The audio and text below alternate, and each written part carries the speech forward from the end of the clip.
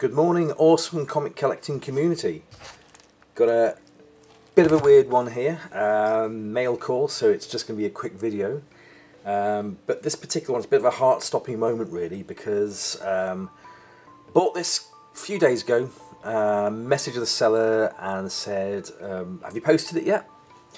He said, "Yeah, no worries, I have done. Here's the tracking number." Um, and he got back to me sort of like late yesterday afternoon, evening. Sorry, not afternoon. Uh, so I inputted the tracking number in my Royal Mail app, and it said delivered, signed for, 8:42 a.m. that morning. Oh well, no worries. It's it's at work somewhere, uh, and nobody knew a thing about it. So basically, uh, you know, high value comic book has gone missing. So, you know, I'm stressing out, stressing out. And then the mail guy comes today, and he drops off the package which he signed for yesterday. How are they allowed to get away with doing that? Beyond me. Anyway, that's the, the crux of that heart-stopping moment. Now, the seller has packaged this book really, really well. And I haven't got a safe implement to cut the package open. So you might actually see on this video the destruction of a high-value comic book. So, I mean, me and Simon, Simply Simon, great channel, check him out, are always joking with each other about how I cut my books open. Um, I'm going to have to do this very, very gently. And, you know, kind of like tease the book out. Uh, normally what I tend to do is save time and, and try and cut most of these out pre-doing the video to save some time. Right, so now I can actually see what I'm working with.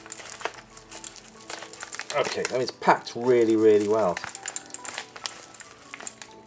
Right, so that's when I extend the blade.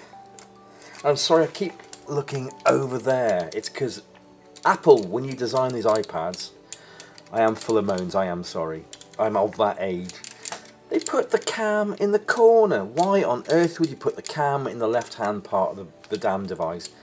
Put it on the bloody top top edge or something like that, you know. Because otherwise I'm not engaging with my audience. You lovely people. So it's a design flaw they need to sort out.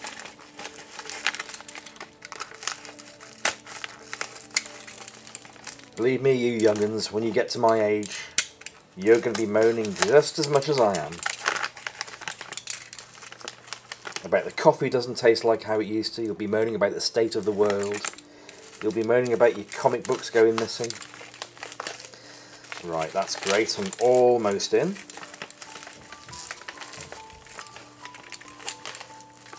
Peel back the corners. Put the knife down for now. Great. Okay, now just to zip through this lot. Use pressure, push open, in,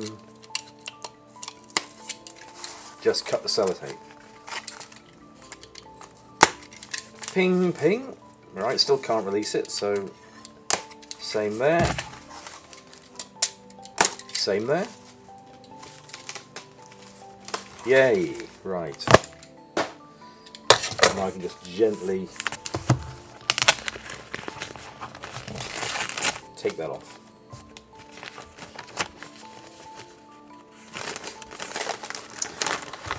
Yeah, I have to admire the seller's packaging. Really good.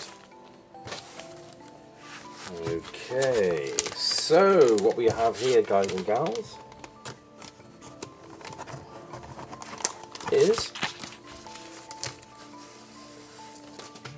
Creepy Worlds. Number three. Another early one. Not a bad condition book. You know, I normally I try and take off things which have been added in years previous, but I think I'm going to leave this on. Twelve and a half pence, covered covering over the shillings uh, price tag. But uh, yeah, I like that. That's another one of the early issues. Ticked off the list. Spine has seen better days, but it's not destroyed as such, it's just bent. So I might be able to tease that out actually.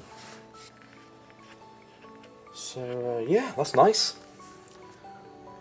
Another one to the, the arsenal of collecting Alan Class issues. So uh, what else have I got to talk to you about today?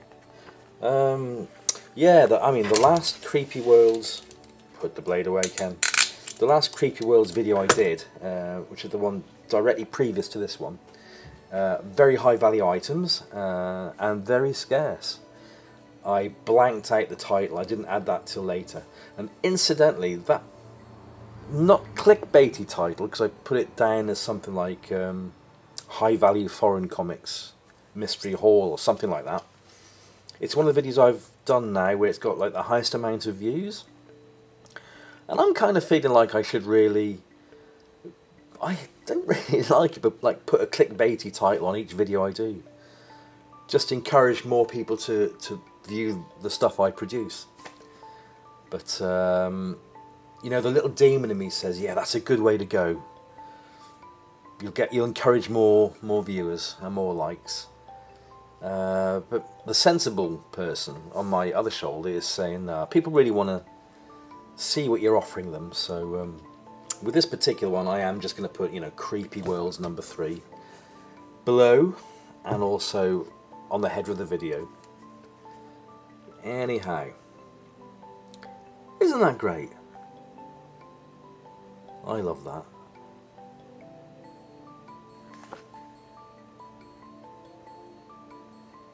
Okay, I'm just trying to make out what that says. It's obviously something water, isn't it? But the way it's uh, printed on the book doesn't quite look like that. Hmm. Anyhow, guys and gals, as per usual, thanks for pressing the play button. Uh, hopefully you're going to like this video. And, uh, you know, really love you to subscribe if this is the first time you've seen this face. And watch this video. There's plenty more of collecting from this genre as we move forward. And obviously the weekend coming up, that's when I do my show and tell videos where I pick a certain series and go right the way through it from beginning to end. Um, fantastic everybody, so I shall see you on the next video. Bye for now.